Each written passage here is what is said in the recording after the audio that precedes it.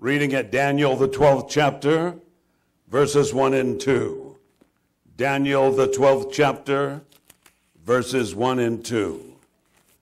The Word of God declares as I read, And at that time Michael shall stand up, the great prince which standeth for the children of the people. And there shall be a time of trouble such as never was since there was a nation, even to that same time. And at that time thy people shall be delivered, every one that shall be found written in the book. And many of them that sleep in the dust of the earth shall awake, some to everlasting life, and some to shame and everlasting contempt. I want to be in that first group. What do you say? Those who raised from the dust of the, of the earth to everlasting life. Well, beloved, we all can be in that group if we will follow the instructions of the Word of God. It's not what I have to say that's important, but it's what Jesus has to say that is important. Michael, who is Michael that shall stand up? Meaning, Christ has finished his work of intercession on behalf of humanity. Probation has closed. Let's read it Revelation 22, verses 11 and 12, where the Word of God tells us this. Revelation 22, verses 11 and 12. At that time, when Michael shall stand up, it says, He that is unjust, let him be unjust still. Case closed. And he which is filthy, let him be filthy still. Case closed. And he that is righteous, let him be righteous still. And he that is holy, let him be holy still. When Michael stands up, it's over, beloved. Our cases are finalized. So, what we've got to do now, between the standing up of Michael and today, is arrive at the truth of God's word and then live it. What do you say? Verse 12 says, And behold, I come quickly, and my reward is with me to give every man according as his work shall be.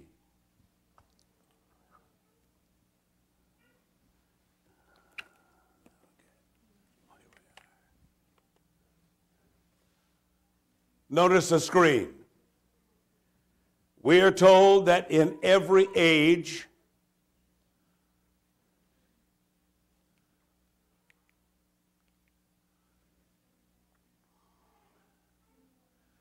In every age, there is given to men their day of light and privilege. That's what we have today. A probationary time in which they may become reconciled to God. But there is a limit to His grace. Mercy may plead for years and be slighted and rejected. But there comes a time when mercy makes her last plea. Time's up. We must now face the God of heaven. The heart becomes so hardened that it ceases to respond to the Spirit of God. Then the sweet, winning voice re- entreats the sinner no longer, and reproofs and warnings cease. The Jewish nation was a symbol of the people of all ages who scorned the pleadings of infinite love. He walked among them, and yet they refused to even know him.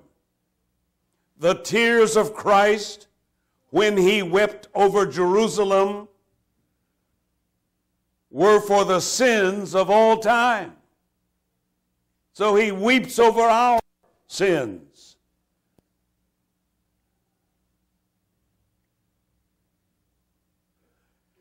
In the judgments pronounced upon Israel, those who reject the reproofs of God's Holy Spirit may read their own condemnation.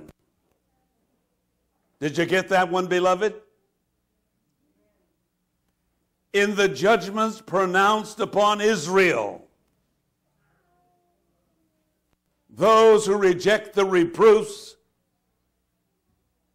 of God's Holy Spirit may read their own condemnation. Let me read Matthew 23. Matthew 23. And I'm reading at verse 37 and 38. Here the Word of God declares, O Jerusalem, Jerusalem, thou that killest the prophets and stonest them which are sent unto thee, how often would I have gathered thy children together, even as a hen gathereth her children under her wings, and ye would not. Behold, your house is left unto you desolate. And so a time came in 70 AD when Titus, a Roman general, came into Jerusalem and destroyed the city. Their house was left unto them desolate. 1 Peter 1:12 tells us this. Wherefore I will not be negligent to put you always in remembrance of these things. In remembrance of these things, though you know them. So that gives us the thought, beloved, that what we are about to, to, to, to study this morning Peter had already told his people this. They had been forewarned, and so he didn't want them to forget, and now he's repeating it. So this morning we will repeat some things that you perhaps have known. Though you know them, and be established in present truth. What is present truth? Truth that is relevant for today, meaningful for today truth that sort of pulls us by the lapel and says, listen, you need to wake up. Let me take you to a text. Go to Proverbs 22. Proverbs 22. And there I'm reading at verses 20 and 21. Proverbs 22, the Word of God declares as I read Have not I written to thee excellent things in counsels and knowledge, that I might make thee unto this, that I might make thee know the certainty. Notice that I might make thee know the certainty of the words of truth. God is not hiding anything from us. I'm reading now in Amos 3 7. Notice what the prophet Amos says. Amos 3. I'm reading at verse 7. Amos 3. Surely the Lord God will do nothing or allow nothing to happen. Surely the Lord God will do nothing, but he revealeth his secret unto his servants, the prophets. Isn't it amazing that many of your New Testament churches today have nothing to do with the Old Testament? They say salvation is in the New Testament. Well, that's true. But salvation is also in the Old Testament. I want to show you another text then. Let me read this one again. Surely the Lord God will do nothing, but he revealeth his secret unto his servants, the prophets. Hold that in mind. Luke, Luke 13. I'm reading there at verse 28. There shall be gnash, weeping and gnashing of teeth when ye shall see Abraham, Isaac, Jacob, and all the prophets in the kingdom of God, and you yourselves thrust out.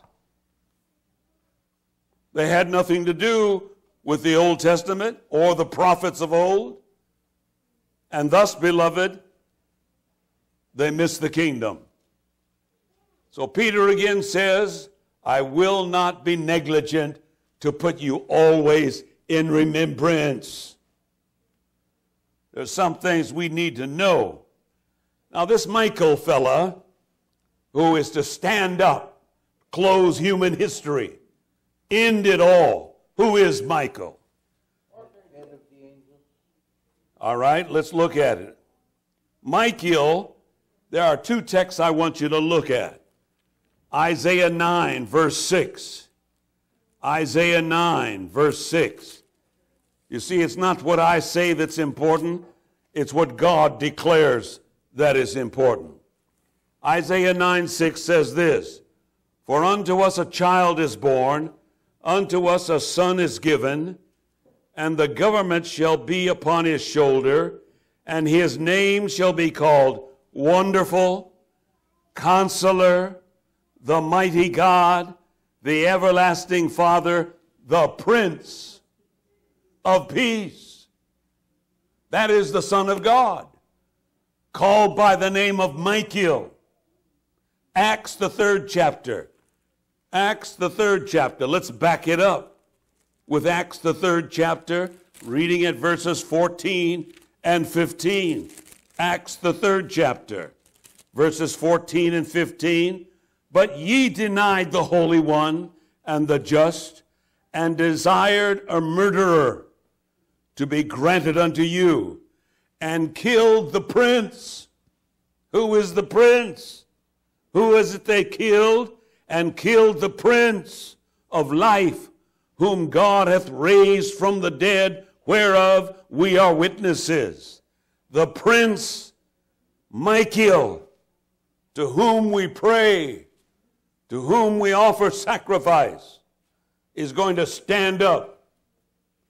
And in that fearful time, after the close of Jesus' mediation, the saints were living in the sight of a holy God without an intercessor.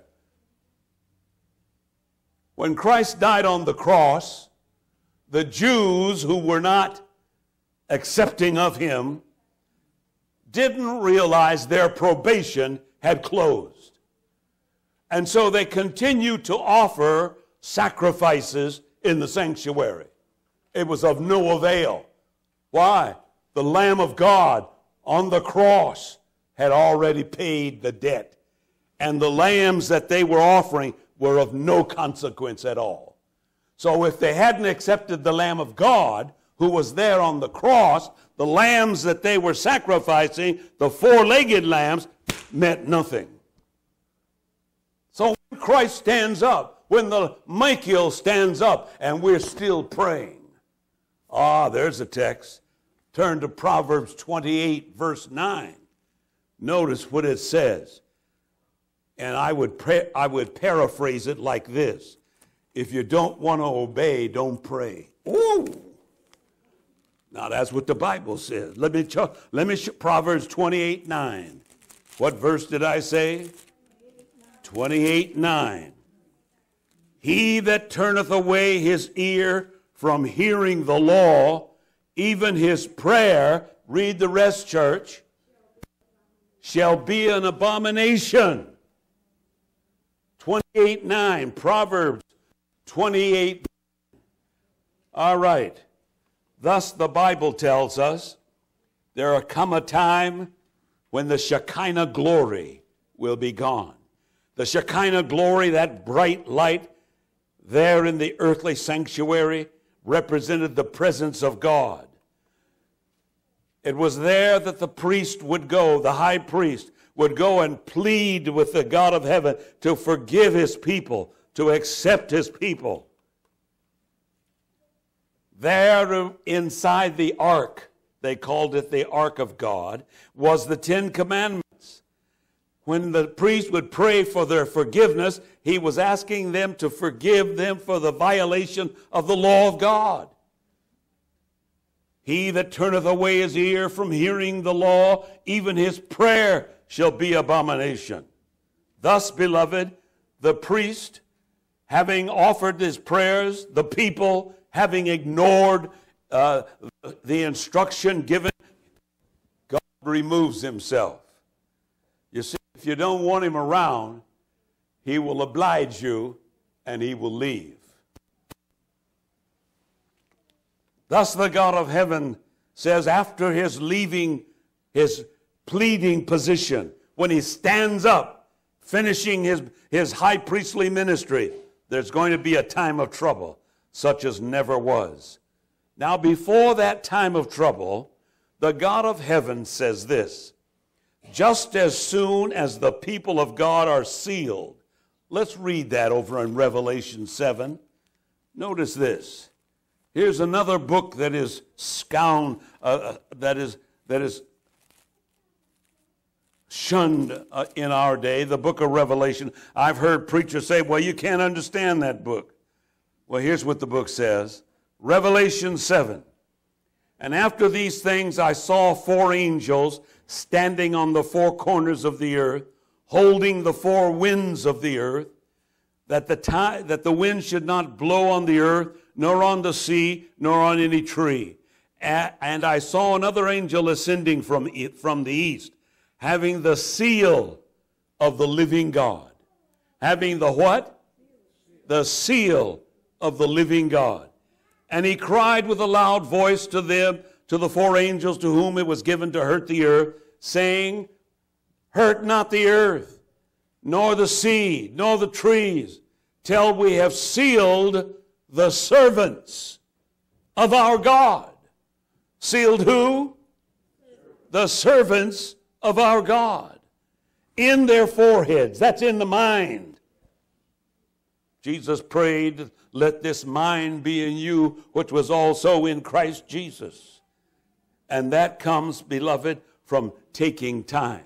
Take time to be holy. Now, I'm not going to sing. I'll get all messed up like, like uh, what's the girl's name? Rachel. Where's Rachel? Did Rachel leave? Okay. There she is. Okay, Rachel. Lord bless you. I was trying to sing, and, and I said, No, I, am not going to try and sing. So the Bible, the Word of God tells us just as soon, now notice we're back on track, just as soon as the people of God are sealed in their foreheads, that's in the mind, it is not a seal or mark that can be seen, but a settling into the truth, both intellectually and spiritually. You got to know something, see? I know my, my, my grandparents who live in Portland, Oregon. When I was 11 years old, I went down to spend, spend some time with them. And, and they're Pentecostals. Now, I'm not, I'm not saying anything about Pentecostals, but they would roll on the floor as a sign of, of receiving the Spirit. And so my grandfather said, Son, don't look on the woman don't look on the women when they're in the Spirit. And I thought, well, you know, that's strange, isn't it? If the Holy Spirit is in them, what they're doing on the floor? So anyway, I've grown to know that's not proper etiquette, spiritual etiquette. All right, now notice, beloved, it says they will be intellectually and spiritually uh, settled into the truth so that they cannot be moved. Now, why? What, what is it that's going to move them? I'm going to show you in just a minute. just as soon as God's people are sealed and prepared for the shaking. Huh? Ever been in an earthquake? There's going to be a big one down here. It will come. The judgments of God are now upon the land to, to give us warning. The falling of the Holy Spirit. Watch this now. Only those who are living up to the light they have will receive greater light. Unless we are advancing in the exemplifications of the active Christian virtues, we shall not recognize the manifestations of the Holy Spirit in the latter rain. It may be falling all around us now, beloved, wake up and get this one. It may be falling all around us, but we shall not discern or receive it. So, in essence, what is being said is if we're out of step with the Lord. See, 1 Peter 2.21.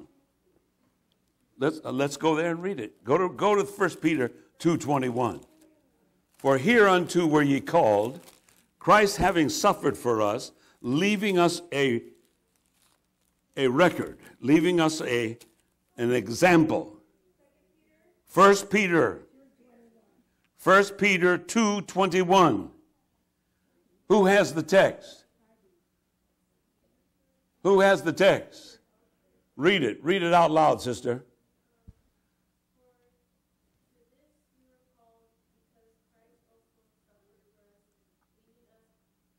leaving us leaving us an example that you should do what? Follow what? His steps. Christ is our example that we should follow his steps. All right? So if we're following his steps, beloved, the Holy Spirit may be falling all around us and it will fall on us as well. But if we're not following his, his steps, notice what it says. But we shall not discern, that's understand, or receive it. God help us, amen, to be in step with our Lord. Putting things in context. Now I want you to get the context. In Revelation 6, go to Revelation 6. Revelation 6 comes before Revelation 7. Now, in Revelation 6, starting at verse 14, notice the picture that is drawn. It's a word picture. But the heaven departed as a scroll. Are you there? Okay. Revelation 6, verse 14. And the heaven departed as a scroll when it is rolled together, and every mountain and island were what? Moved out of their places and the kings of the earth, the great men, the rich men, that's, that's you know, rich men, and the chief captains, and the mighty men, and every bondman, and every free man, what did they do? Hid themselves in the rocks of the, in the dens and the rocks of the, of the mountains, and said to the mountains and rocks, Fall on us Hide us from the face of him that sitteth on the throne and from the wrath of who? The wrath of the Lamb. For the great day of his wrath is come. Now, notice the question. Notice the question. And who shall be able to stand? All right? When the second coming takes place, Christ opens the heavens and is coming back here. It'll be no secret. Psalm 50 tells you it's not a secret. He's going to let the world know, here I come. You see, at the cross, they said, if you're the Son of God, come down, then we'll believe. Well, it wasn't time for him to come down. But when it's time, beloved, he'll open the heavens, and then you'll see it's time for him to come down. He will come to this world. Now, notice, the question is, who shall be able to stand? It says that every bondman, every free man hid themselves in the dens and in the rocks. They were running away. But who's going to be able to stand and see the glory of our Lord coming in the clouds? Huh? Chapter 7 answers that question. Those who receive the seal of God. They will be able to stand.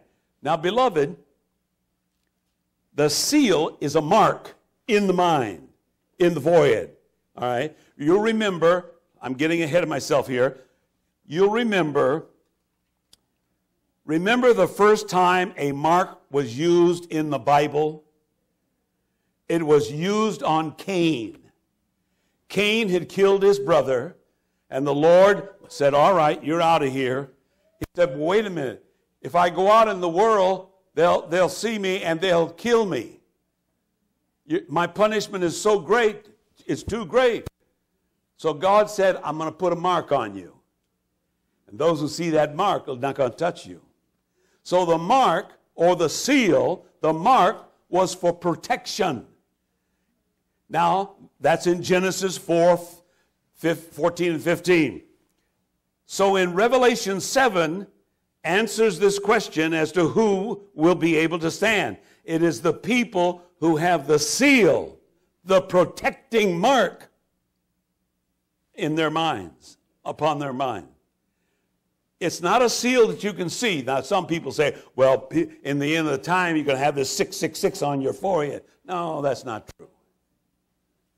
The seal of God will not be seen by human eyes, but the angels can see it. Now, notice this. In the time of Israel, when they were to, leave Egypt, the God of heaven said, Do what with, with the blood of the Lamb? Put it on the doorpost. And when the angel sees that mark, that blood, he will do what? Passover.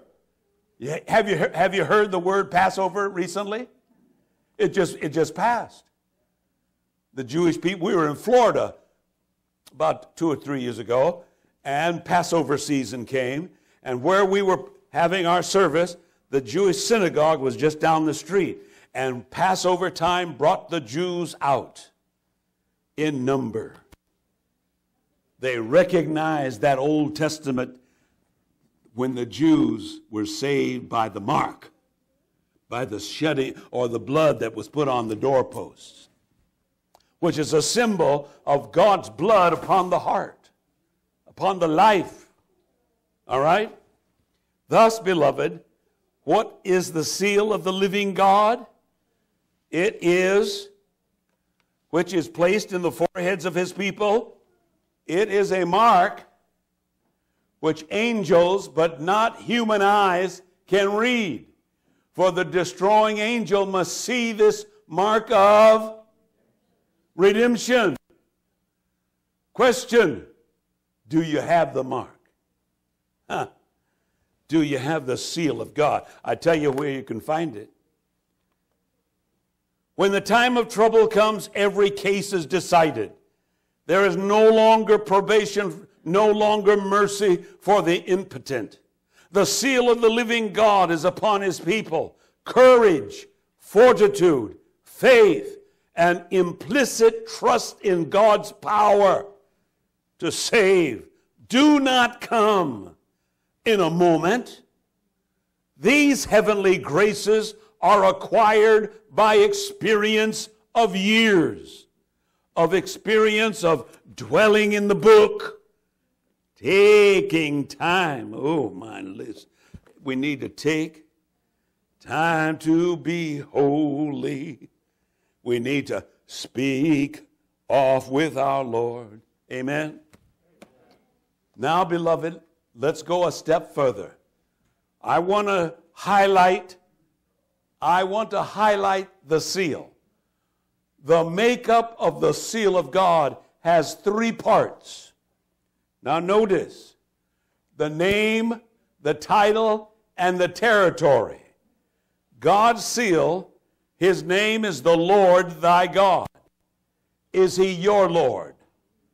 You see, if he's your Lord, according Romans 6 16, you will serve him. All right? Know ye not to whom ye yield yourselves servants to serve? His servants you are. Now, his title is creator.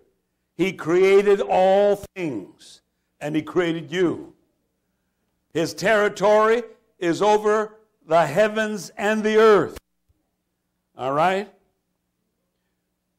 Now, Lord, notice, beloved, where can this seal be found? Where is the seal found? It is found in the Ten Commandments that were written by the finger of God. Exodus 31 18 says so. Written by the finger of God, not on paper, but on stone. Why on stone? To show its enduring quality. You see, beloved, we live in an age when people say, well, away with the commandments of God. We don't need them anymore. Uh huh. God says you do. Now, beloved, the seal is found within the fourth commandment. What does the fourth commandment say?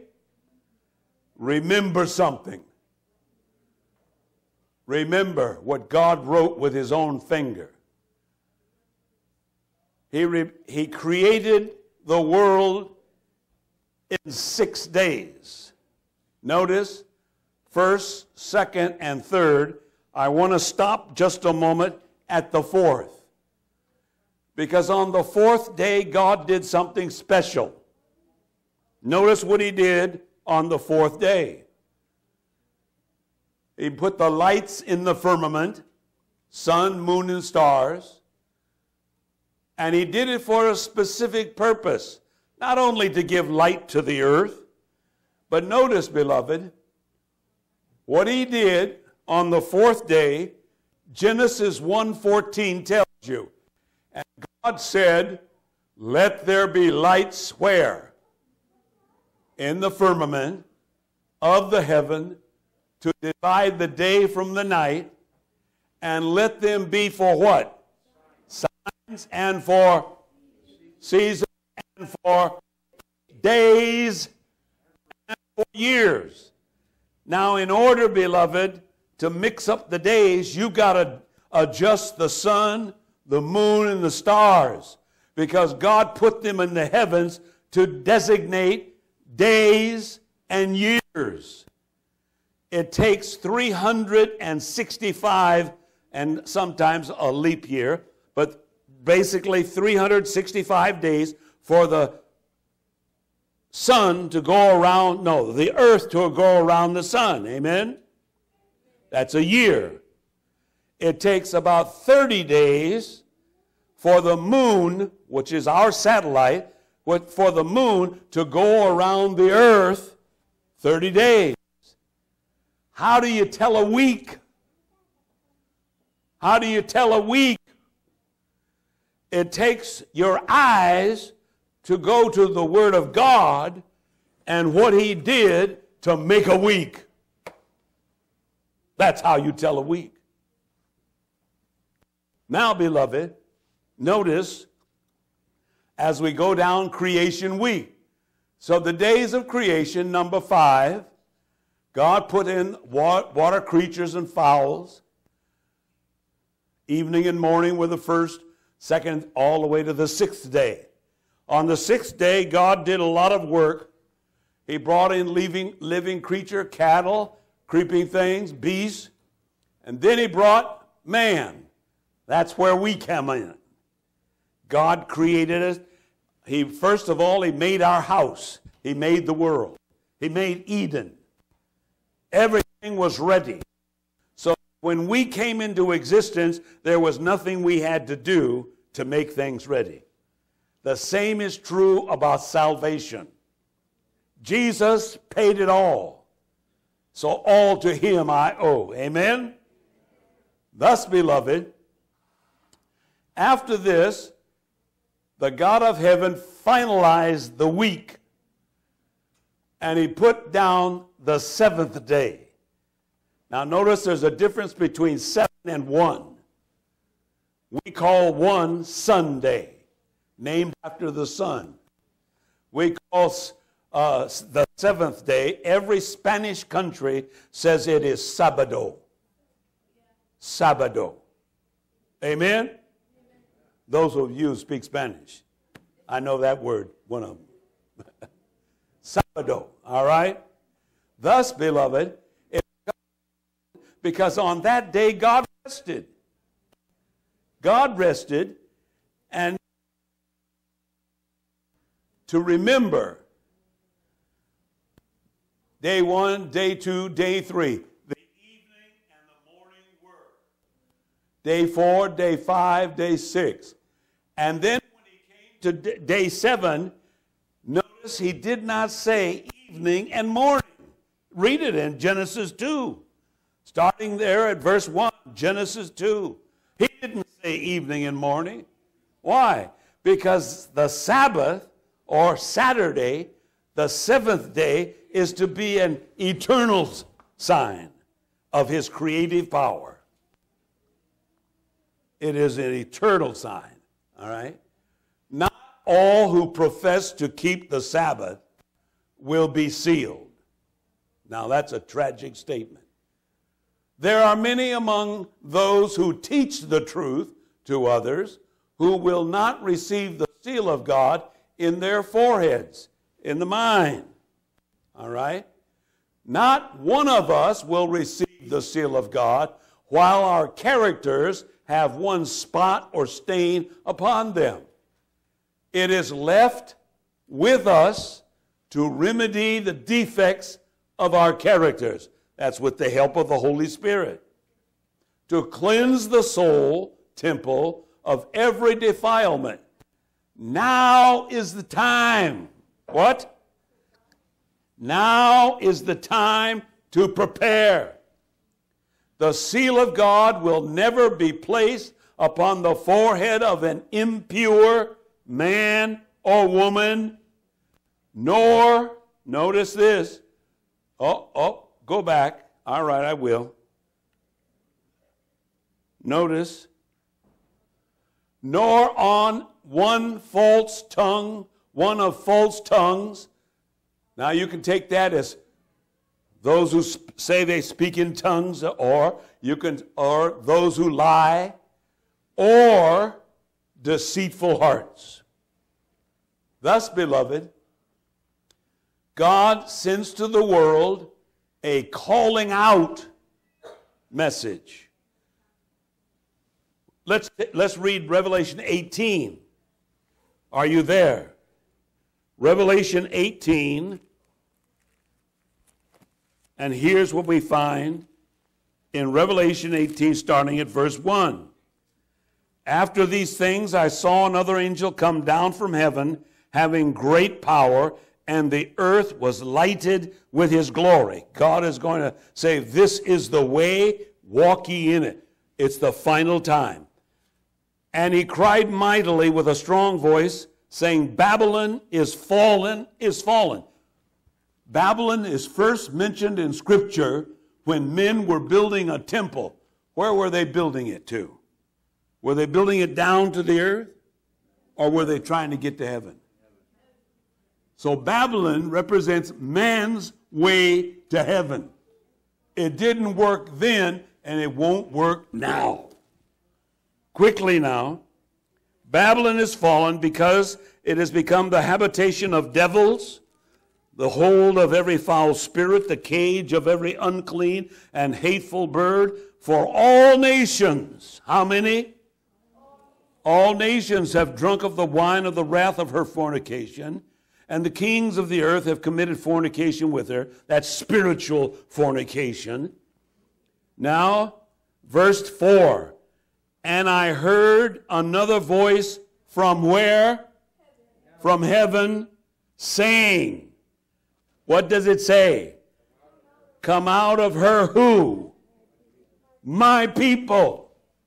So here is a calling out message. God has people who have been blinded one way or another, and they have tripped up and are going the wrong way. So, in His mercy, God sends a message, and the earth is lighted with His glory. That's the glory of the gospel. Jesus said to His disciples, Go into all the world and preach the gospel. Finally, the time will come, beloved, where the gospel will have reached what God considers the ends of the world. And then he calls his people out. Make your decision. Come out of her, my people, that ye be not partakers of her sins, and that ye receive not of her plagues. God is going to punish that system that would dare to lead people to the false way of Babylon, saying, This is the way you can get to heaven. Babylon never did get to heaven. Thus, beloved, man has another message. You're in Revelation, go to Revelation 13, look at verse 15 through 18. Revelation 13, verse 15 through 18. And he had power to give life unto the image of the beast, and that the image of the beast should both speak and cause as many as would not worship so it becomes an issue of worship. Should be killed. And he causeth all, both small and great, rich and poor, free and bond, to receive a mark in their right hand, that's service, or in his head, or in his forehead, that's commitment linked intellectually. Here is wisdom. Verse 18 here is wisdom, here's understanding. Let him that hath understanding count the number of the beast. God calls this system a beast. For his number is a, uh, the number of a man. His number is 666. Now, just before Christ comes in Second Thessalonians, second chapter, he sends in conjunction with what we've read, he sends this message. Second Thessalonians, second chapter. I'm going to drop down to, verse. well, go, let's start at verse 2. That ye be not soon shaken in mind or troubled, neither by spirit nor by word, nor by letter, as from us, as that day of Christ is at hand. Don't get shook up. It's going to come, but it's not, it's not ready yet. Let no man deceive, verse 3 let no man deceive you by any means. For that day, that's the end of the world day, that day shall not come except there come a falling away first. And you'll be able to tell that falling away.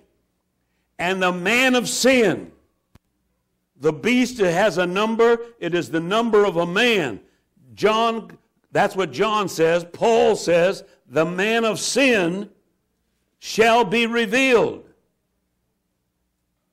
Be revealed the son of perdition, who opposeth and exalteth above all that is called God or that is worshiped. Now get this one, get, get this. So that he as God sitteth in the temple of God, showing himself that he is God. Oh my word. Oh my word. Do you realize the trouble somebody gonna get in? Somebody calling themselves God. Uh. All right. So God sends a message to the world. The message and mark of the beast. Get this. Revelation 18 13. Here's wisdom. Here's understanding. The number of the beast is 666. Our mark of authority. The Church of Rome is above the Bible, and this transference of Sabbath observance is proof of that fact. That's what they said in 1923. All right, I'm going to come up to date now. Hold on, we're almost through. The Bible says, Remember that thou keep holy the Sabbath day. We've been through that. We saw that. Wait a minute. We saw that. The Bible says, remember that thou keep holy the Sabbath day. The Catholic Church says, no. By my divine power, I abolish the Sabbath day. After all, they got, see. And lo, the entire civilized world, what, how many? The entire civilized world bows down in reverent obedience to the command of the Holy Catholic Church. Now, some of you know that, some of you have heard that, but I'm going to repeat it. I'm re- the Bible said, we read it earlier. Uh, Peter said, I, I want you to remember in this world of confusion in which we live, there's, it's so easy to forget. All right, moving on. Now, Revelation says, and the great dragon was cast out. That old serpent called who? The devil and Satan, which deceiveth how many? That's his plan. So the Bible tells you the plan of the enemy so that you might not be tripped up by his plan. The whole world. I'm going to go back now. I want to go back. And lo, look, look where we are. And lo, the entire civilized world bows down in reverent obedience to the command of the Holy Catholic Church. Now compare that with your Bible, what your and your Bible says, and the great dragon, that old serpent called the devil and Satan, dece- which deceiveth the whole world. Lord, have mercy. He was cast out into the earth, and his angels were cast out with him. That's why we have so much trouble down here. Got the devil and his angels down here. All right? Hasn't the Catholic Church changed? You know, they have this new pope. What's his name? Francis? Well, Francis is a very nice man. People are flocking back to the church. Hasn't, hasn't the Catholic Church changed? Not at all. No change. The Second Vatican Council teaches that the Bishop of Rome, that's the Pope, as the vicar of Christ, representative of Christ, and has supreme and universal power over the whole church. That's over Protestantism, Catholicism, and every other ism. That's 1993. I'm going to bring you up to date now coming in the future, in the summer of 1998, July 5th, Pope John Paul II issued a lengthy apostolic letter, Dies Domini, in which he urged people not only to start keeping Sunday holy. Oh, wait a minute. I thought the Bible said, remember the Sabbath, which is the seventh day. This, the Pope says, keeping Sunday holy but to pass laws, what does it say? That will enforce it. Now that's what your Bible says is going to happen. It may happen very soon with the, the Democrat or the Republican uh, setup we have. All right, now notice, notice, 2007, Pope demands respect for Sundays. That's day one, first day of the week. Jesus blessed the Sabbath, made it holy because he kept it. Luke 4:16 says, as it was his custom, Luke 4:16, as it was his custom, he went into the synagogue on the Sabbath day. But Pope Benedict says has he has appealed he appealed for renewed respect for Sundays as he celebrated mass St. Stephen's Cathedral in Vienna. All right. That's 2007 Now, here you are, 2015. Now, notice, I, oh, going too fast. All right. I want to show you Pope Francis. Notice what he says Sundays are a gift from God.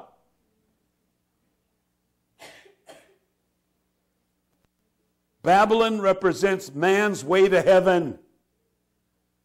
Babylon failed in the Old Testament. Babylon will fail in the New Testament. The Pope is calling for world, the world to acknowledge and honor Sunday as a day of rest, legislation that will force the world to worship and rest on Sunday would be the ideal solution. This is what we're looking forward to, beloved. This is where we are in the time of this world, and God is trying to warn His people come out of her, my people. There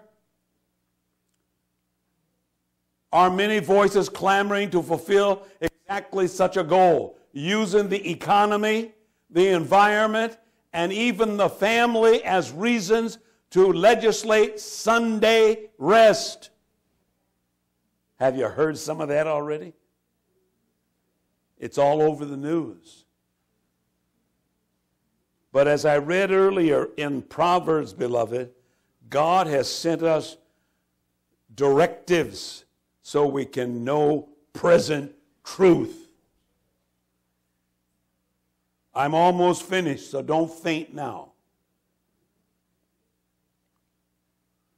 Jesus said, Mark 7 7 to 9. Howbeit in vain do they what? Worship me. Teaching what? The doctrines the commandments of men. Teaching for doctrines the commandments of men. It is a vain thing to do it. I won't read the rest of it. That's the important thing. Last verse says, And he said unto them, Full well ye reject the commandment of God, that ye may keep your own tradition. So Jesus Christ then. Read, let's read it together. Jesus Christ, the same yesterday and today and forever. Hebrews 13, verse 8. How many this morning then are saying in your heart, I'm going to hang with Jesus? If that's your testimony, beloved, Stand to your feet. You won't embarrass me if you don't want to stand. But if that's your testimony, you want to follow Jesus, you want to stand with him, you want to finally and at last look upon his face and hear from his own lips, Well done, thou good and faithful servant. Let us pray. Heavenly Father, we praise you and thank you we thank you for the truth as it is in Jesus. We don't want to be lost, Lord. We know the matter is a serious matter, whom we will obey. You've set forth in your book the truth as it is in Jesus. You've said he is our example and we should walk in his steps. This morning, Heavenly Father, we're asking your people, according to your words in Scripture, come out of her, my people, and walk with me. If you've heard that word, and Jesus was here personally, and he's asking you, beloved, to follow him. Are you ready to make that decision? If you're ready to make that decision, just raise your hand and say, Lord, I choose to follow you. May God bless you. God bless you. Heavenly Father, you see the hearts and hands that are raised. We ask, Heavenly Father, that the Holy Spirit will bless us to that decision, stays with us till we see Thee face to face. So bless us to this end, we ask, Lord, in Jesus' name. And the church said,